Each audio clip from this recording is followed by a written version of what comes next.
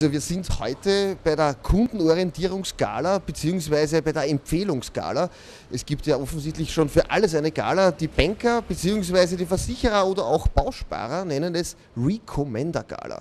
Was denn da so abgeht und wer denn da der Empfehlungsweltmeister oder der beste Empfohlene ist, das erzählt uns dann heute die Finanzklientel unseres Landes und ob eine Finanzmarketing-Empfehlung oder eine Finanzempfehlung im Rahmen der Wirtschaftskrise auch wirklich noch etwas wert ist, das hören wir heute. Empfehlungsgala kann man sich irgendwie ganz gut vorstellen, was das heißt. Recommender Gala heißt ja. in Ihrer Fachsprache, was wird denn da empfohlen?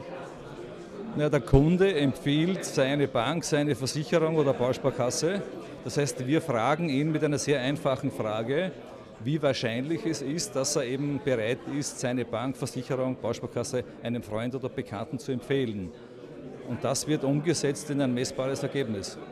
Und da werden jetzt ja sehr viele Kunden befragt. Wie viele sind es denn genau? Äh, heuer sind es erstmals 5000. Wir ja. haben die Ergebnisse aufgestockt von bisher 3.500 auf 5.000, damit die Ergebnisse noch genauer werden, erstens. Und zweitens, dass wir mehr Banken und Versicherungen hineinbekommen. Jetzt haben Sie heute einen sehr renommierten Keynote-Speaker, ja. der dort unter anderem darüber spricht, ob denn eine Empfehlung in Zeit einer Wirtschaftskrise, Finanzkrise auch wirklich einen Wert hat. Hat eine Empfehlung in einer heutigen Zeit, eine Finanzempfehlung einen Wert? Naja, ich würde sagen, sie hat wahrscheinlich einen viel größeren Wert. Warum? Weil die Kunden kritischer geworden sind und äh, man kann nicht davon ausgehen, dass sie ihre Bank empfehlen, wenn sie selber ein ungutes Gefühl haben.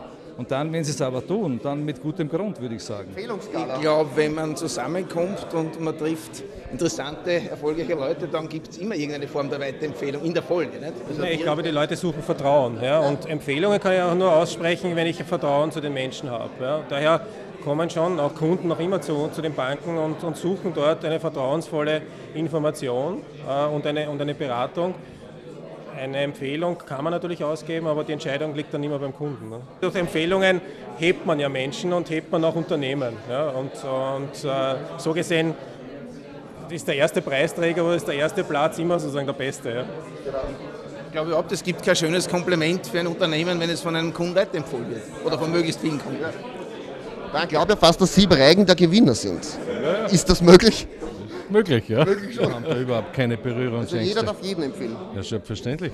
Aber wenn man vom Kunden empfohlen wird, dann hat es schon besonders einen Sinn, oder? Das ist das Beste. Wenn man untereinander empfiehlt, ist auch gut, aber bringt nicht immer so viel, oder? Glaubwürdiger und besser ist, wenn es der Kunde macht. Die Institute können sich das nicht aussuchen, sie werden getestet. Wir sind hier beim Herrn Sobotka, eine zufällige Namensgleichheit, weil ja der Landeszähler, sprich im Land Niederösterreich, ist ja auch ein, ein Wirtschaftslandesrat, der dort zählt. Der zählt aber, glaube ich, nicht so wie Sie, nämlich mit Net Promoter Score. Was ist denn das genau?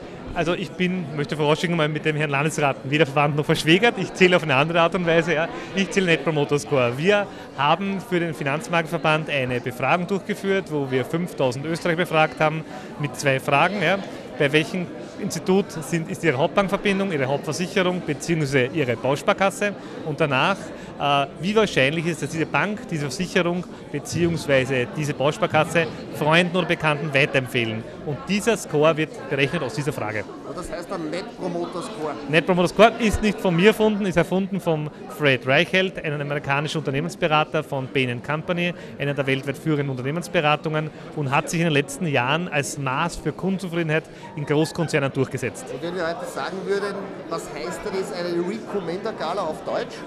Ja, eine, eine Gala für die Banken und Versicherungen, die am meisten weiterempfohlen werden, weil Recommend ist ja Weiterempfehlung. Bei der Recommender Gala haben im Übrigen gewonnen bei den Banken die Sparkassengruppe und die Raiffeisen Bankengruppe, dann die Tiroler Sparkasse, die Grazer Wechselseitige Versicherung, die Basler Versicherung, die Raiffeisen Bausparkasse und Aufsteiger des Jahres wurde die Grazer Wechselseitige Versicherung.